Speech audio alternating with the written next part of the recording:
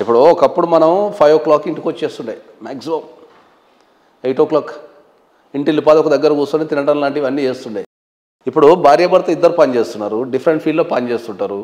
వీళ్ళ టార్గెట్స్ వేరు వీళ్ళ టార్గెట్స్ వేరు వీళ్ళ వర్కింగ్ ఎన్విరాన్మెంట్ వేరు. వీళ్ళకు ఒక వీకెండ్ అవుటింగ్ ఉంటే వాళ్ళకు ఒక వీకెండ్ అవుటింగ్ ఉంటుంది. ట్రావెలింగ్ ఫుడ్ ప్రధానంగా ఫుడ్ క్వాలిటీ ఫుడ్ ఎక్కడుంది? ఎవరు ఇంట్లో తింటున్నారు చెప్పండి? ఇంట్లో ఉన్న కూడా స్విగ్గీనే బుక్ చేసుకుంటుండే. స్ట్రెస్ వెళ్ళిపోవాలా లేట్ అవుతుంది మళ్ళీ ఆఫీస్కి వెళ్ళాలా మళ్ళీ అక్కడ ప్రాబ్లం అవుతుందని మళ్ళీ మనం క్వాలిటీ ఫుడ్ ఎక్కడుంది? ఆరోగ్య సమస్యలు. ఇప్పుడున్న యూత్లో seventy percent of the people will suffer any ఒక డిసీజ్తో ఉన్నారు. ఐదర్ లేడీస్ కానీ అర్జెంట్స్ కానీ ఏదో ఒక సమస్య. సెవెంటీ పర్సెంట్ ఫిట్నెస్ లేదు. దీనివల్లనే డైవర్స్ అవుతున్నాయి. ఇప్పుడు ఒక క్లయింట్ మీ దగ్గరికి వస్తున్నారు. బేసికల్గా మీరు కలిపిన సిచ్యువేషన్స్ ఏమైనా ఉన్నాయా? లేదు అంటే వాళ్ళు ఎలాగో వద్దు అనుకున్నారు కాబట్టి అని మీరు కేసు ప్రొసీజర్స్ అది మొత్తం. రే రేరెస్ట్ రేర్ కలిపిన సందర్భాలు రేరెస్ట్ రేర్ ఇక. వాళ్ళకి వాళ్ళు ఏమైనా కొద్దిగా రియలైజ్ అయిపోయి కలిసిన సందర్భాలు అయితే చాలా రేర్. చాలా రేరెస్ట్. రేర్. ఇంతకు ముందు డివోర్స్ కావాలంటే ఆల్మోస్ట్ ఒక వన్ ఇయర్ మ్యూచువల్ అయినా నార్మల్గా అయినా బిఫోర్ డేస్లో తర్వాత తర్వాత కాలం అంటే ఎంత అప్డేట్ అయ్యే కొద్దీ డివోర్స్ అనేది ఇప్పుడు మంత్స్లో వచ్చేస్తుంది అనుకోండి. ఇప్పుడు డివోర్స్ అప్లై చేసుకుంటే ఎన్ని రోజుల్లో వచ్చేస్తుంది? జనరల్ చట్ట ప్రకారం మ్యూచువల్ డైవర్స్ అయితే సిక్స్ మంత్స్ పీరియడ్ ఉంది ఇప్పటికి. ఎందుకంటే అప్లై చేసిన తర్వాత ఇప్పుడు జనరల్గా ఏంటంటే మ్యూచువల్ డైవర్స్కి వచ్చినాం అనుకో ఫస్ట్ డైవర్స్ అనేది విత్ ఇన్ ద వన్ ఇయర్లో అప్లై చేయడానికి లేదు పెళ్ళైన తర్వాత. అక్కడ నుంచి మళ్ళీ అప్లై చేసుకుంటే ఎవరైనా మ్యూచువల్ డైవర్స్ అప్లై చేసుకుంటే మళ్ళీ అక్కడ నుంచి సిక్స్ మంత్స్ సో చట్టం రాసినప్పుడు ఏంది అంటే ఏంటంటే విత్ ఇన్ వన్ ఇయర్లో డైవర్స్ అప్లై చేయడానికి లేదు అనేది ఒక రూలు మళ్ళీ దానికి ఎగ్జామ్షన్ ఉన్నది. మళ్ళీ అప్లై చేసుకోవచ్చు అని అంటాడు మళ్ళీ కింద. దాంట్లో ఇప్పుడు విత్ ఇన్ ద వన్ ఇయర్లో ఎందుకు డైవర్స్ అప్లై చేయొద్దు అనేది ఎందుకు చెప్తారా అంటే ఏంటంటే కొత్త ఇద్దరు ఒక కొత్త వ్యక్తులు కదా ఒక ఇంటి కింద కలిసి నివసించేటప్పుడు రకరకాల ప్రాబ్లమ్స్ ఎదురవుతాయి అవి మానసికంగా కావచ్చు శారీరకంగా కావచ్చు లేకపోతే కుటుంబ పరంగా కావచ్చు ఫైనాన్షియల్ ఇష్యూస్ కావచ్చు. సో ఆ సమస్యలు ఏర్పడ్డప్పుడు ఏంటంటే రపక్కన డైవర్స్ అనే ఆలోచన రావద్దు కాబట్టి ఒక వన్ ఇయర్ వరకు నువ్వు డైవర్స్ అప్లై చేయలేవు అనేది చట్టం చెప్తే ఏంటంటే ఆ వన్ ఇయర్ లోపల ఏంటంటే ఒక ఇంటి కింద నివసించడం ద్వారా వాళ్ళు కలిసిపోయే అవకాశాలు ఎక్కువ ఉంటాయి. అంటే అడ్జస్ట్ అయిపోతారు. Over the period. ఇప్పుడు మనం కూడా ఒక కొత్త ఇంటికి పోయినాం అనుకో కొత్త కొత్తగానే ఉంటుంది కొద్దిగా. ఫ్రీక్వెంట్ ఒక ఫైవ్ టైమ్స్ టెన్ టైమ్స్ పోతే ఇంట్లో ఏముంది ఎక్కడుంది ఏముంది అనేది మనం తిరుగుతుంటాం. అట్లనే ఆ వన్ ఇయర్ పీరియడ్ పెట్టిండ్రు మళ్ళీ దానికి ఎగ్జామ్షన్ ఏంది? నీకేమన్నా ఎమర్జెన్సీ ఉంటే నువ్వురా నేను మళ్ళీ డైవర్స్ అప్లై చేసుకోవచ్చు పెళ్ళని తెల్లాలి రూలు ఎగ్జామ్షన్ అట్లనే మనకు డైవర్స్ కూడా ఏంటంటే మ్యూచువల్ డైవర్స్ ఏంటంటే సిక్స్ మంత్స్ పీరియడ్ ఎందుకు పెట్టారు ఏంటంటే వాళ్ళు ఏమైనా అపోహలతో వచ్చి ఉంటారేమో వాళ్ళని విడగొట్టడం ఎందుకు అనే ఉద్దేశంతో సిక్స్ మంత్స్ కూలింగ్ పీరియడ్ పెట్టారు. అప్పట్లో ఇంత స్పీడ్ జీతం లేదు కాబట్టి సిక్స్ మంత్స్ పెట్టారు.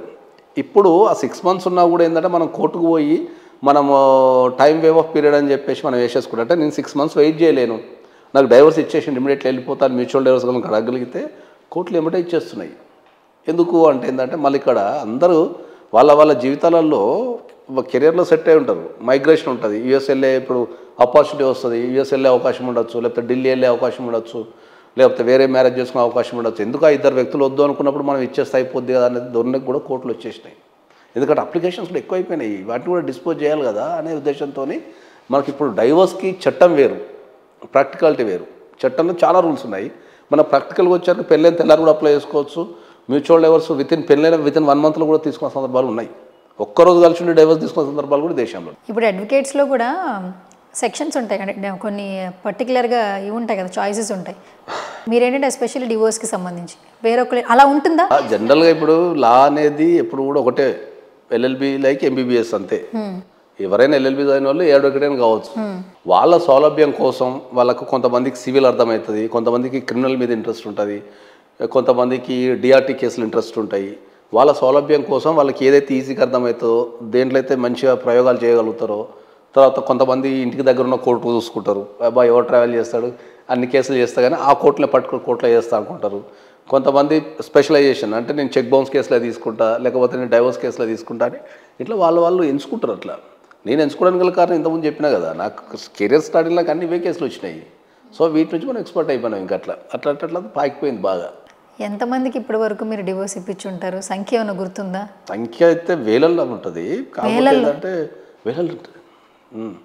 ఎందుకంటే nowadays also per day నాకు అట్లీస్ట్ ఒక ఫిఫ్టీ టు సిక్స్టీ పర్ డేకి కొత్త డైవర్స్ అప్లికే అపాయింట్మెంట్స్ ఉంటాయి పర్ డే పర్ డేకి పర్ డేకి పక్కా ఎవ్రీ డే ఫిఫ్టీ అపాయింట్మెంట్స్ కొత్తవి ఉంటాయి నాకు. పక్కా. ఇర్రెస్పెక్ట్ ఆఫ్ సిచ్యువేషన్ ఆ సండే కానీ మండే కానీ పండగ కానీ పబ్బం కానీ పర్ డే పక్కా ఫిఫ్టీ ఉంటాయి. కాదు ఇవన్నీ పైకి వెళ్ళిపోతుంది ఎలా వింటారు మీ మామూలుగా వినడానికి? ఎట్లాగా వీళ్ళు విడిపోవడానికి వస్తున్నారు కదా అన్న థాట్లో థాట్ ప్రాసెస్లో ఉంటారా? లేదా వాళ్ళని కలపడానికి కొంచెమైనా ఫస్ట్ మీరు ట్రై చేస్తారా? అంటే నేను కలపడం కంటే ఎక్కువ ఏం చెప్తా అంటే అందరికీ out of the court settlement చేసుకోమని చెప్తాను. కోర్టుకి వెళ్ళకుండానేనా కోర్టుకి వెళ్ళకుండానే కలపటమైనా సరే కొట్లాట వద్దని చెప్తా నేను. ఎందుకు అంటే కలిసి ఉండాలంటే మీరు కౌన్సిలింగ్ తీసుకోండి అని చెప్తా. ఎందుకంటే మనకి ఇప్పుడు ఉన్న ప్రాబ్లం ఏంటంటే ఇద్దరి కుటుంబాలకు పెళ్ళి అంటే రెండు కుటుంబాలు ఇద్దరు వ్యక్తులు. వీళ్ళకు ఏదైనా గొడవ జరిగినప్పుడు ఏమైందంటే అమ్మాయి సైడ్ వాళ్ళంతా అమ్మాయినే సపోర్ట్ చేస్తారు. అబ్బాయి సైడ్ వాళ్ళంతా అబ్బాయిని సపోర్ట్ చేస్తారు. వీళ్ళిద్దరిని కూర్చోబెట్టి చెప్పగలిగే మీడియం లేదు. ఒకప్పుడు పెద్ద మనుషులు ఉంటుండే వాళ్ళకు ఒక స్థానం ఉంటుండే వాళ్ళ మీద ఒక గౌరవం ఉంటుండే.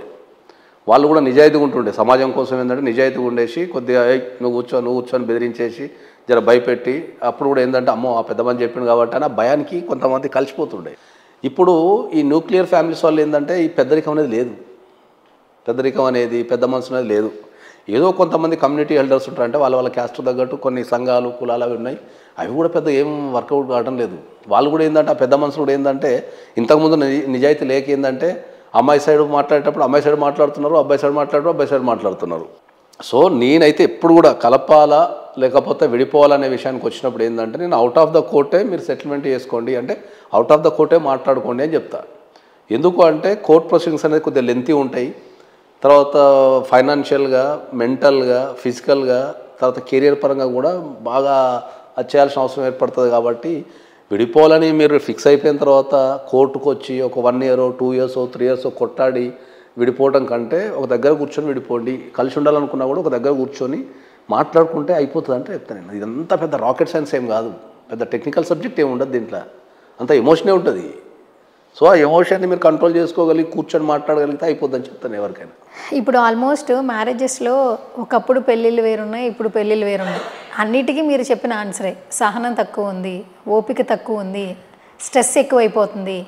అండ్ ఇద్దరు సంపాదించే ఇదిలో ఉన్నారంటే నాకేంటి అని ఒక క్వశ్చన్ కూడా రేజ్ అవుతుంది. ఎందుకు పడాలి అన్న ఆ, పాయింట్ ఎక్కువ రేజ్ అవుతూ ఉంటుంది మెయిన్గా చెప్పాలంటే.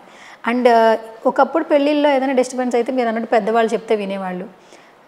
డివోర్స్ తీసుకుంటే అదొక రా అంటే చుట్టుపక్కల వాళ్ళు మనల్ని ఎలా చూస్తారేమో అన్న ఒక భావనతో తగ్గి ఉండేవాళ్ళు. ఇప్పుడు ఏంటంటే మ్యారేజ్ అవ్వడం డివోర్స్ అవ్వడం ఒక కామన్ వాళ్ళకి జరిగింది వీళ్ళకి జరిగింది మనకి జరిగింది. అలా ఉంటున్నారు. మొత్తం వ్యవస్థ తయారైపోయింది?